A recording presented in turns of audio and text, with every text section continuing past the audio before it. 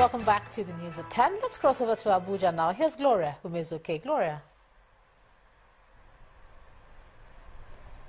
Hello, Joma. Good to see you and welcome to Abuja, the nation's capital. The Senator Ahmed Makarfi-led caretaker committee of the People's Democratic Party is accusing Senator Ali Modu Sheriff, who took over the party secretariat on Monday, of working for the All Progressives Congress. The spokesperson for the PDP Caretaker Committee, Mr. Dayo Adeyeye, told journalists at a press conference in Abuja that the embattled former chairman of the party is working for the ruling APC to disorganize the PDP ahead of the Edo State governorship elections. Meanwhile, the chief press secretary to the Ali Modu Sheriff uh, has described the accusation as baseless. Sheriff is not, Sheriff is being aided and abetted by the APC who do not want the PDP to have peace. It is also curious that the police claim to be acting on orders from above and allow Sheriff and the squad to gain entry into the secretariat. If we may ask, who is the authority that issued the orders from above?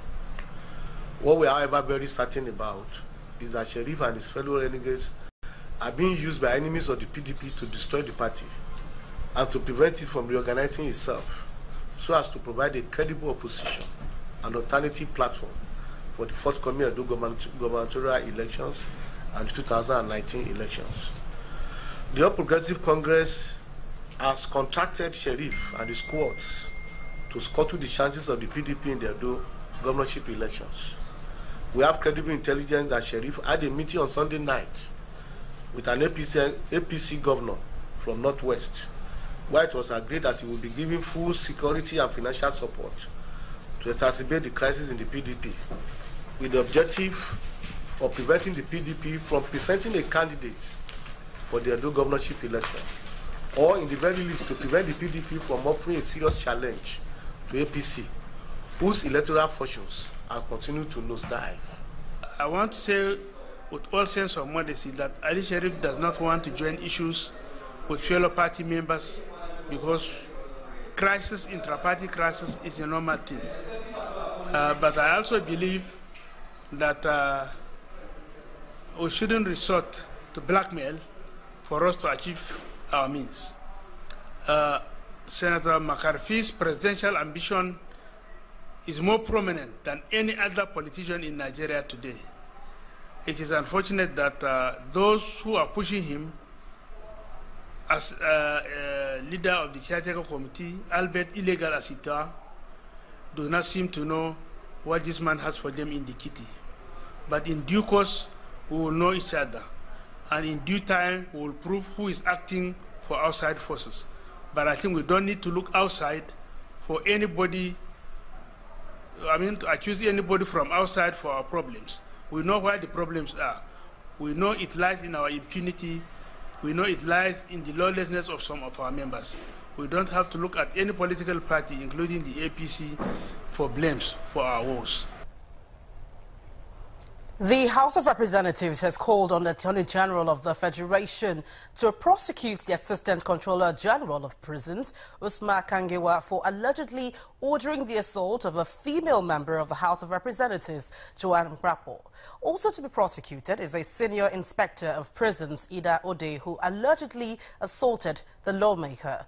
This followed the consideration of the report of the Committee on Interior, which investigated the matter.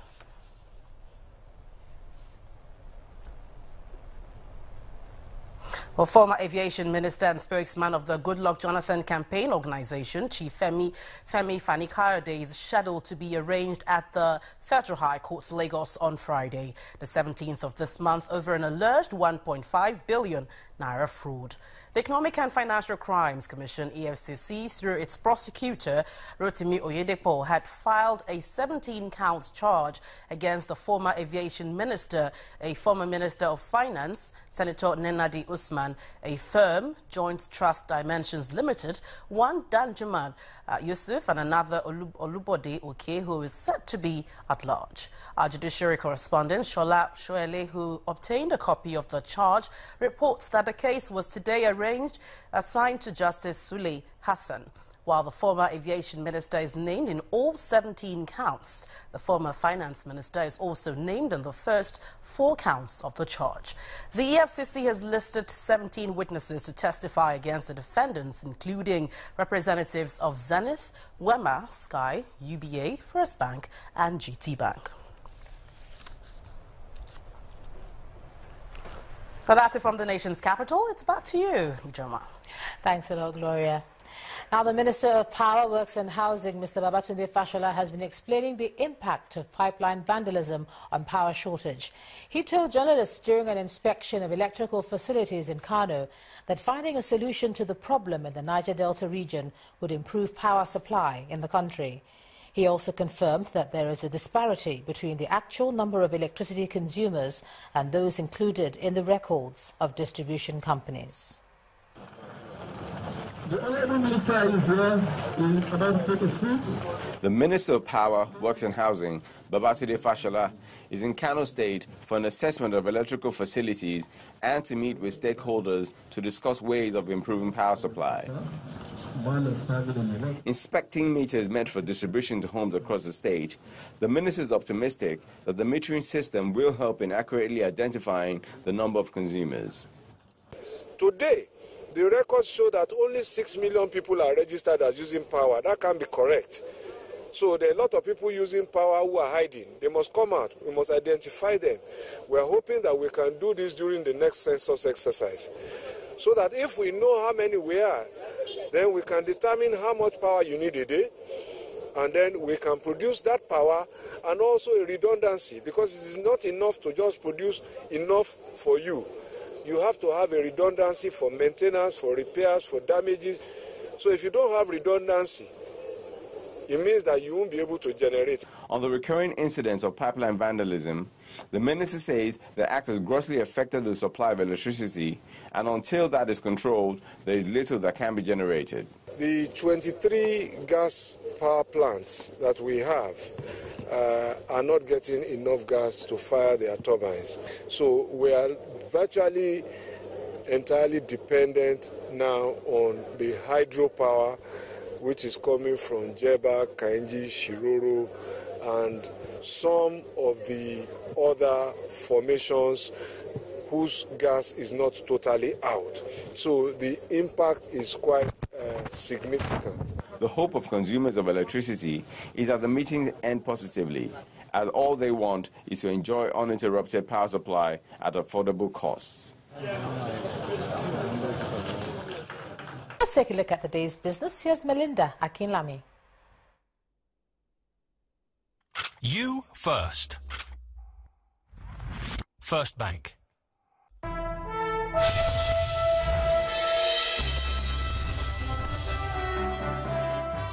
Thank you so much, Ijoma. A warm welcome to Business News. The Central Bank of Nigeria is set to announce a more flexible foreign currency policy. The CBN Governor, Godwin Emefiele, will unveil the new policies at a new conference in Abuja on Wednesday. In April, the central bank said it would move away from a peg of the naira to the dollar, but has not yet given details. Latest data from the National Bureau of Statistics shows headline inflation rate has recorded a sharp increase of 1.9% to 15.6% in May. This is the fourth consecutive month that the CPI is recording a relatively strong increase, which is reflected across the board. According to the NBS, the rise is attributed to an overall increase in general price levels. The food sub index went up by 14.9% in May. That's slightly by 1.7% in April. The federal government says it will grant a 90 billion naira loan to 36 states. The loan, according to the Minister of Finance, will cover a period of one year. Mrs. Kemi Adeosun told journalists in Abuja that the loan will be extended to the state governments, but they must meet 22 conditions. Leading diversified financial services institution, FCMB, has opened shop in Gbagada of Lagos State, southwest, southwest Nigeria, in order to enhance financial inclusion. Residents and customers at the commissioning ceremony were assured of first-class services. Attaining the highest level of customer advocacy is the mission of First City Monument Bank. And gathered here in Gbagada, Lagos, are top executives and some customers of the bank here to fulfill this mandate by the commissioning of this new branch. Explaining the objectives of the lender in the community, the bankers say the milestone is the bank's way of enhancing financial inclusion. Opening this branch is a further demonstration of our commitment to ensuring that more Nigerians get a chance to benefit from our award-winning customer service and robust suite of banking and financial solutions. While a number of other things are going on in the industry as a whole, banks closing locations down, we are glad to say that we are opening branches. Can you give FCMB a clap? So it is our pleasure to have everybody here to witness this great event. FCMB had historically endeared itself to its clients for over 30 years. On this note, this customer is glad to have the lender in his community. I am a very confident customer that FCMB will keep on doing the good work. And I'm imploring everyone. I have other bank accounts, but I have the opportunity to say FCMB is one of the best that I've had experiences in this country and outside of the country. This is the official cutting of. After all is said and done, the new branch is commissioned.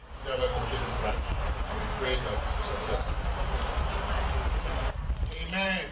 And banking in Gbagada just gets much easier. We are acquiring customers every day on our alternate channels. So we have our FCMB mobile, FCMB online, you know, as other options for banking. So I think this is what we try to push. It does two things. One, it reduces the cost to serve, and secondly, it helps you with financial inclusion. FCMB, I would say number one thing for us is our service and our culture. We are people friendly and we give our customers the best. FCMB targets 3.8 million customers this year. With the new Gbagada branch open and more initiatives on the way, more than 600,000 customers are expected on its database. The Nigerian equities market closed in the red for a second day this week as investor sentiment remained dampened by the inflation data released by the National Bureau of Statistics. Temple Ashaju has the numbers.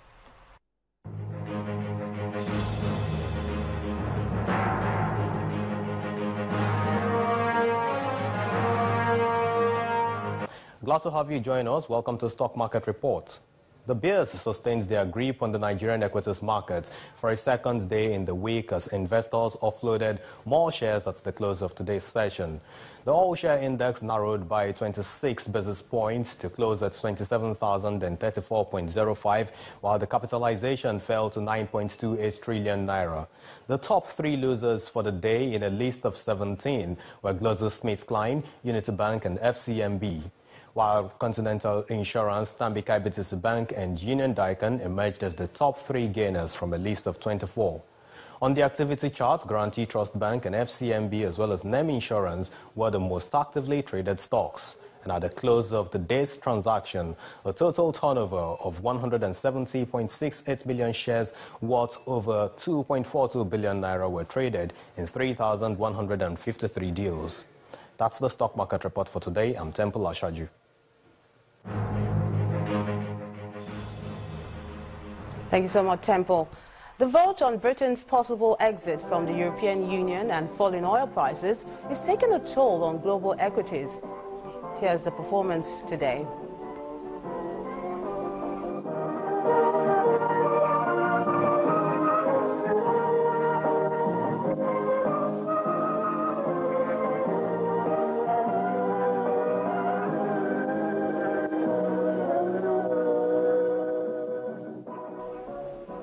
That's business news. Thank you so much for watching. The news at 10 continues with Ijoma.